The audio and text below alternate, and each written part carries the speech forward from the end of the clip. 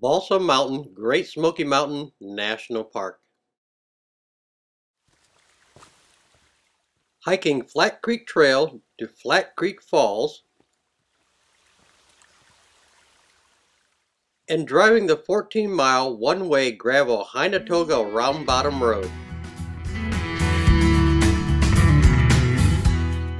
Enter the Blue Ridge Parkway just outside of Cherokee, North Carolina to access Balsam Mountain. We'll drive less than 20 miles of this 469 mile scenic road. Then turn left and continue another 9 miles of Heintooga Ridge Road.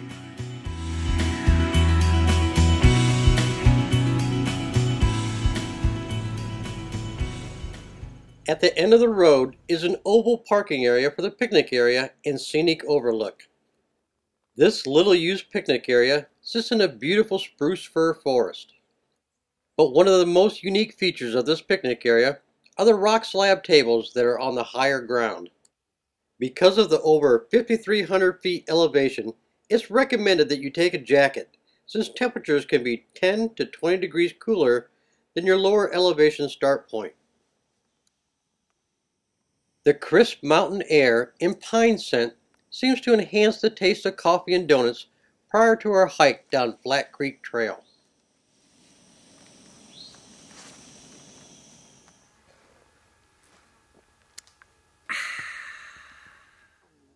Just below the picnic area is a scenic overlook that gives an outstanding view of the mountain ridge that divides Tennessee and North Carolina and Mount Guyot, the second highest peak in the Smokies. Just yards from the overlook is the trailhead to Flat Creek Trail. Whoa. Have that removed.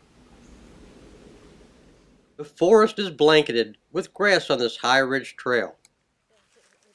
We cross the creek a couple of times until we reach this sign. We've hiked 1.9 miles and turned on the side trail at the sign down to the falls. We come to a fork in the trail and go right to the first tier of this two-tier waterfall. The thick rhododendron makes the first tier difficult to see for any distance. The fall down to the second tier of this waterfall is almost impossible to see from where we are at.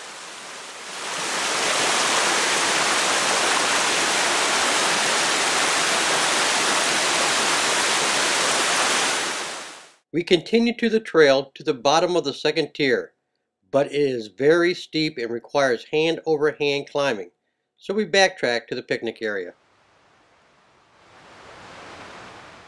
We'll finish off our day on Balsam Mountain with a drive down the 14 mile one way road into Cherokee, North Carolina.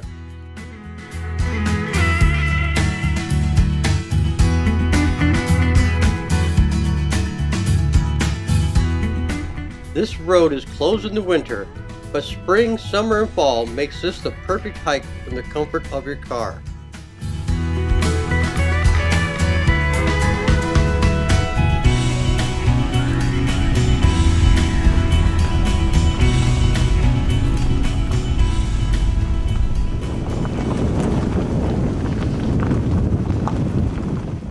When we reach Round Bottom, the road turns into a two-way. Follow the gravel road out to Big Cove Road, then turn left into Cherokee.